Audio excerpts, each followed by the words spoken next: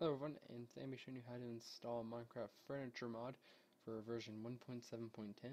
And the first thing you want to do is go to this website right here, and once you're here, click on Mods, scroll down to Furniture Mod, and click on View Page, and you should see this right here, and press Download Mods,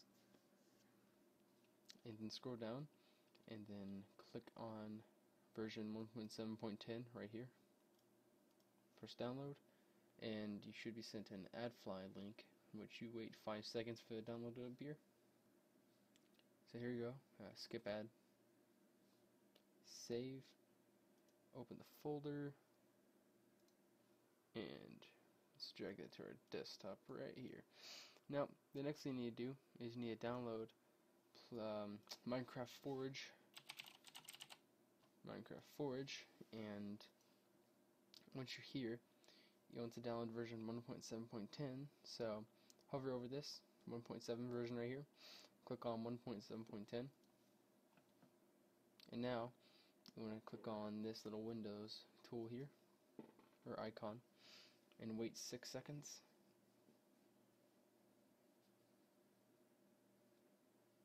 There you go. Skip. Save. And once that is done drag this to your desktop as well there you go. So let's drag that to our desktop. There you go. Now that we have everything downloaded, what you need to do now is you want to type, press the Windows key, type in run, and this box should appear, and you want to type in percent app data percent, press OK, and you should get this roaming folder called, and you should see a little dot Minecraft in here, and this is your Minecraft folder that like holds everything in your Minecraft, the servers, your worlds. So what you want to do is you want to delete this. But if you really don't want to lose any of your saves or servers, just um, make a backup of it. So just copy it and make a backup. So now right click it and delete it. Now once you did that, open up Minecraft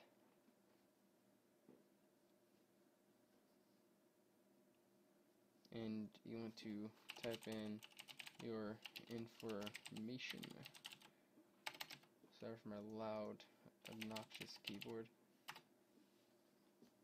Play game. And it will download the .minecraft folder all over again. So what this is doing is just cleaning your, your Minecraft so we can install the mod properly. But now, uh, while this downloads, I'm going to pause the video here and I'll be right back. Here we go everybody, and now that we have finished it, uh, you want to close your Minecraft, and you should see you have a new .minecraft folder. Now, what you want to do is you want to open up Minecraft one once more, and when this opens, you should see profile here. You should see your profile. Click on Edit Profile, and you want to launch the version 1.7.10, save game, and play. Now that you did that, you want to launch it which will take a second here.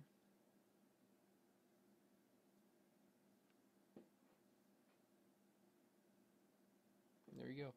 Now that you have launched it, uh, version 1.7.10, you want to quit the game and open up Forge.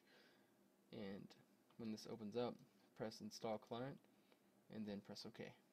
And this will take a minute here to install, so I'll be right back.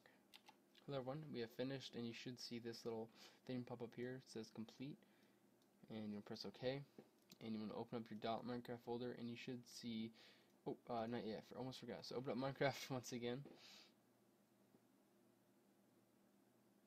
And here you should see a new forge folder here in, in the profiles. So when you click on profiles you should see forge and click on that and play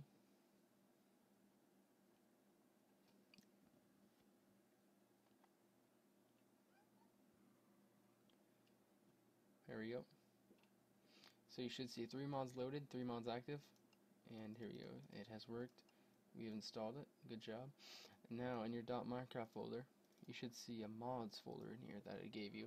you. This is where you want to drag and drop the dot jar or the mod itself. And there you go. You have installed the furniture mod. So open up Minecraft again, and you're good to go. And make sure when you open this up that is on Forge, the profile is still on Forge, and just play game. And we'll see if it worked.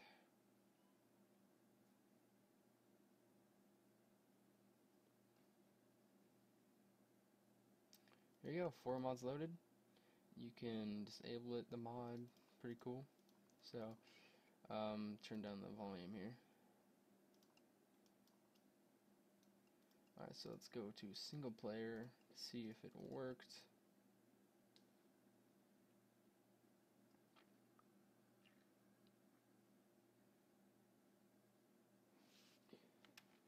Achievement, you've been installed, nice. So it worked, and we have furnitures and everything. We have ourselves a computer, and, um, oh. Alright, so yeah guys, that is how you do it. Um, I will provide the links of the website in the description. And um, yeah, if you have any questions about the installation, if it didn't work for you, let me know in the comments below.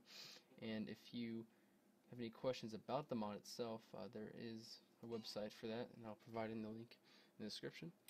So, yeah, thank you guys so much for watching, and I'll see you next time.